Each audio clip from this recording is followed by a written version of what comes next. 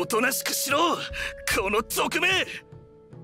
だから俺は馬族だけど族じゃねえっての。族は族だろうが。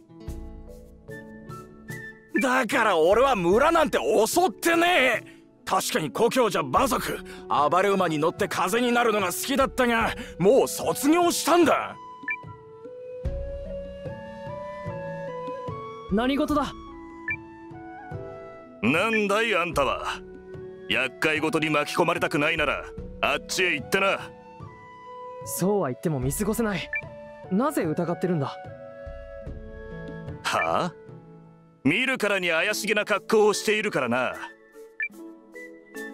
だから言いがかりだって言ってるだろう。この格好は後輩たちが送ってくれたんだ。脱ぐわけにはいかないんだ。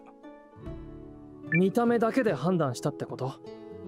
あんただって聞いたことあるだろう。国境付近を襲う族が出てるって。こいつがそうに違いない。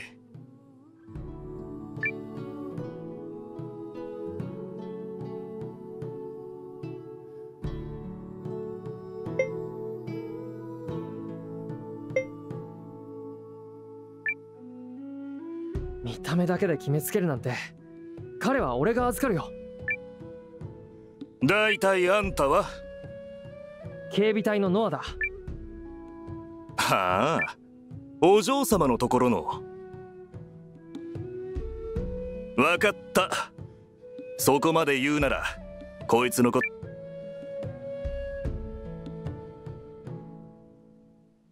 あんたどういうことだ？悪いようにはしないさ。君は族なんかじゃおおこっちの兄ちゃんは話がわかるじゃねえか。しかしそんな奴を助けて物好きな奴だ。何かあったら責任。ああ分かってる。じゃあそいつのことはよろしくな。いや助かったぜ。あんたビッグな男だな。ここで助けられたのも何かの縁だ俺をあんたの仲間に入れてくれ。